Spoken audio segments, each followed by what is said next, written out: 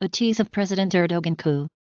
A video released during last summer's attempted coup showed retired Army Lieutenant General Michael Flynn, the National Security Advisor pick, cheering on the generals who tried to seize control of Erdogan's government. Trump himself has a history of seeming a bit too friendly with Erdogan as well.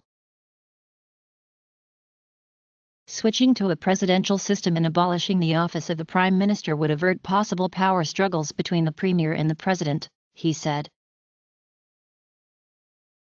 Turkish President Recep Tayyip Erdogan planned to purge opposition elements from government institutions prior to last July's failed coup, secret EU intelligence reports have claimed, with the agency accusing the president of exploiting the coup to remove opponents.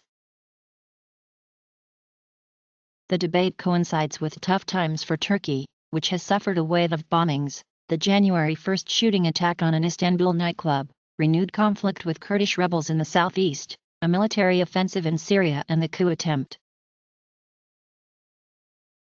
If the outcome of the referendum is also a yes, it could potentially catapult Turkey into snap elections.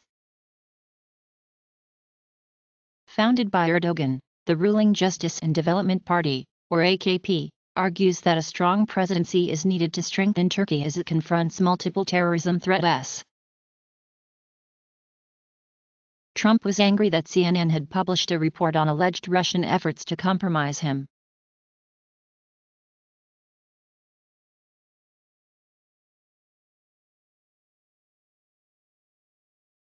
Thanks for viewing this tease. Sign up for the Tip Top Tech channel or search for a Tease Second Mind on YouTube to find and then enjoy other teas.